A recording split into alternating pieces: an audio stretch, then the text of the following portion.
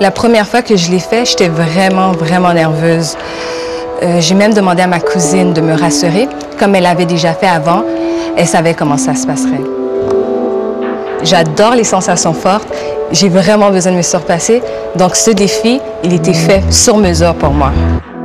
J'avoue, j'avais très peur des aiguilles. Euh, je remettais toujours à plus tard, mais ma cousine m'a encouragée à faire le saut et j'ai pris mon courage à deux mains et j'ai fait mon premier don de sang. Et oui, c'est très bien ça. Excellent. La vérité, c'est que donner du sang, ça fait pas si mal que ça. On s'est très bien occupé de moi. On a fait en sorte que tout se passe en douceur, malgré un petit malaise à la fin. Mais euh, j'ai adoré l'expérience. Depuis mon premier don de sang, je ressens le besoin de poser ce geste le plus souvent possible. Et j'ai découvert que se sentir utile et sauver des vies, ça aussi, ça procure des sensations fortes.